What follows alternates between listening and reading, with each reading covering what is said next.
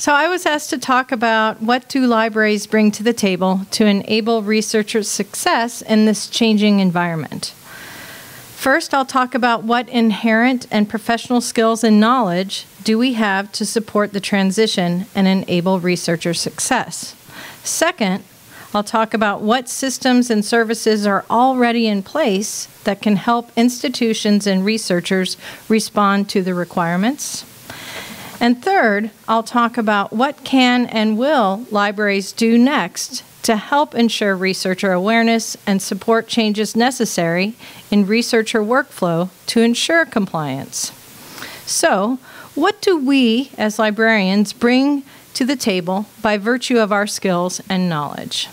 First, librarians are skilled at bringing order and making very complex amounts of information accessible and the funder mandates are, as a whole, very complex. Next, through our subject liaison, and by subject liaisons, I mean librarians who have library and subject expertise and are assigned to work with specific departments and colleges and do instruction work. These subject liaisons are strong supporters already of the research process for students and faculty. This means we create guides for finding very specific types of information, and we train scholars to navigate complex information systems. At research institutions, we're often fully embedded in departments and colleges.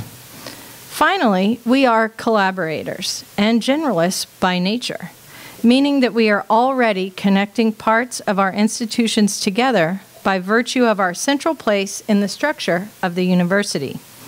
If we take a few steps back and think about this event, it was a library that brought us all here today to talk about the issues facing us.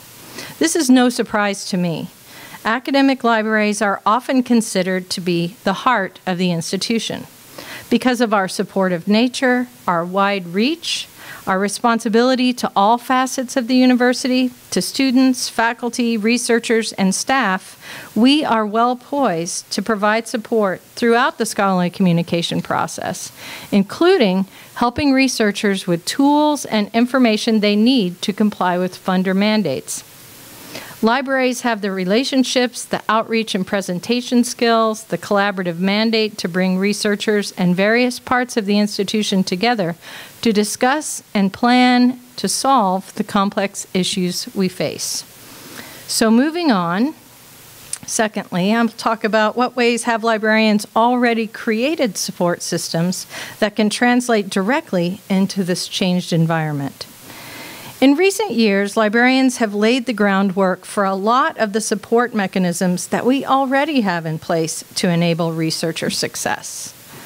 Librarians were early and outspoken advocates for open and public access to academic and scholarly communication. Because of what librarians call the serials crisis, we were by necessity early advocates. For those who are wondering what the serials crisis was and is, let me digress for a few moments. Since the early 1990s, a number of things converged to create what academic and research libraries call the serials crisis. These things include the proliferation of new academic journal titles, a push from major academic publishers to buy journals from learned societies, significantly increased subscription costs for libraries, and over time, the transfer of academic journals from print to electronic versions, which gave the publishers the opportunity to license access and not sell content, which in turn put the sharing of academic information under contract law instead of copyright law. Briefly, I'll describe the consequences of these events in concrete terms. First, more journals meant libraries needed to subscribe to more titles. Second, for profit ownership of journals meant costs could and did increase to astronomical heights, an increase of, especially in some fields, more than 400% over a 20 year period. Third, under contract law, where libraries pay for access to digital information, versus owning the print, libraries are constrained in how they can share academic information. Interlibrary loan can be affected, Permission is now needed for some classroom use of academic materials, and faculty have had to ask publishers for permission to use their own work in teaching and research, or even to share it with other scholars on their websites. Publishers have recently begun sending scholars takedown notices to remove their own articles from their online scholarly profiles and web pages. Fourth, for profit publishers created new ways of selling academic information to libraries. One of the most used is called bundling, which allows them to write contracts that A, span a period of time, often three to five years, and B, include predetermined annual percentage increases. C, do not allow for changes or title cancellations, which takes away the flexibility in often unstable library budgets. This, in turn, often leads libraries to commit to spending the majority of their budgets on academic journals, mostly in STEM fields, which leaves book purchasing, mainly in the humanities and some social sciences, to fall by the wayside because of the contracts with large journal publishers. And finally, in the U.S., this serials crisis affected public universities more deeply and earlier than private ones. However, private institutions are now responding to the serials crisis and having their own budgetary issues. Globally, particularly in developing nations, the effect is drastic. For example, at the University of Mexico, one of Mexico's top schools, the situation is so dire that the university can only subscribe to one print, not electronic copy, of the journal Nature for the entire university. They can't afford the electronic subscription service. Thus, the serials crisis is a global problem for the advancement of knowledge. So, to get back to what libraries have already done, in the mid to late 1990s, libraries brought the conversation about open access to their individual campuses through forums and events for faculty and researchers to discuss the issues. Libraries pulled together all the players to analyze the challenges we were facing and supported a wide variety of collaborations to propose and test possible solutions. On a national level, libraries supported the creation of groups like SPARC. SPARC, which is the Scholarly Publishing and Academic Resources Coalition, was founded in 1998 and it is now an international alliance of nearly 800 academic and research libraries working to create a more open system of scholarly communication. More recently, as Anne referred to, librarians formed COAPI, or the Coalition of Open Access Policy Institutions. Its members are librarians and library administrators who work at institutions that have an open access policy or that are actively working on one.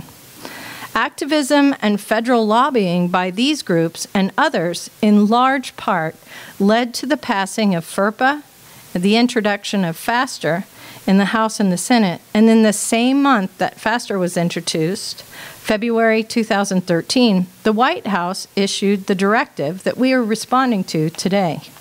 That directive required federal agencies with over 100 million in annual conduct of research and development expenditures to develop a plan, as we already heard, to make peer-reviewed publications publicly accessible to search, retrieve, and analyze. So, our support for researchers is a natural and desired outcome of our support for the directive in the first place. It's just the sort of action with teeth we've been pushing for from the federal government and which we are poised to support. Librarians have also created some specific tools and support that are already in place.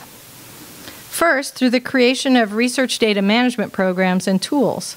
Librarians have done a lot to support researchers in making their data open access, specifically in the area of creating data management plans. For example, in January 2011, eight institutions, five of them academic libraries, contributed personnel and development to create what's called the DMP tool or Data Management Plan tool.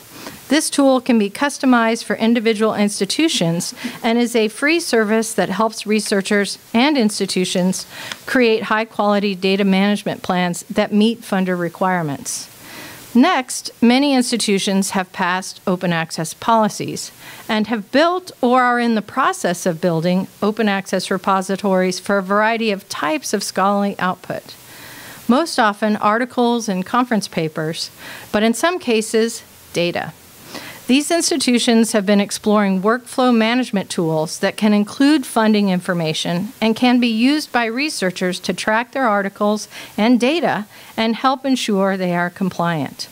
Through groups like COAPI and SPARC, best practices for processes, repository design, and outreach can be easily shared and built on at a wide variety of institutions. And while SPARC requires a paid membership, much of its output is freely available.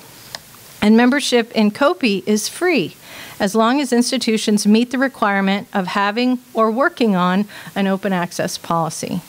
As a member of the steering committee of COAPI and as past chair, I can tell you that as soon as that AAU memo came out, that prompted the flurry of concern on many of our campuses. COAPI members were sharing emails with each other on how different campuses were talking about supporting compliance.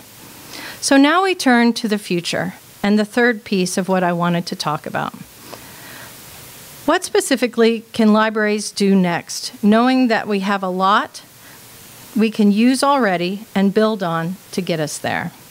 First, librarians can help decipher the individual funder mandates and create guides for individual disciplines and funding requirements for how to comply for both articles and data.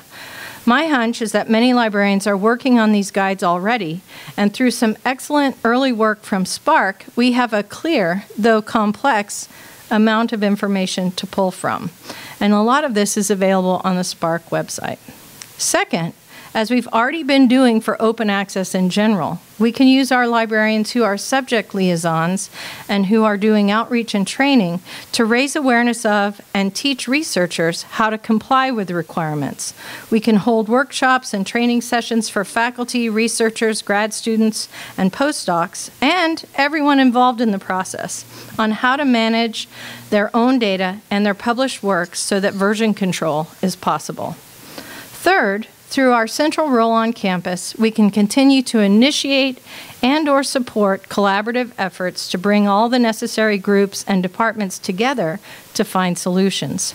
These can be sponsored program offices, research offices, data management support, institutional repositories, departmental administrative support, and specifically grant administrative support, compliance and ethics, legal offices, especially copyright and IP experts, data security, provost level representatives and above, IT solutions, and many others. With the shared goal of making things easier for faculty and researchers, we will work together with campus partners to design and create tools and workflows that insert their compliance into the research processes. Through events such as this one and other marketing and outreach efforts, we can raise awareness about why and how to be compliant. And finally, we can continue to advocate for passing open access policies at institutions or in individual colleges that do not yet have one. With these mandates, there is an opportunity to expand the conversation to talk about open and public access beyond just that affected by the mandates. This then can help create campus wide support systems that will include open access and public access as part of an institutional support system. Thanks.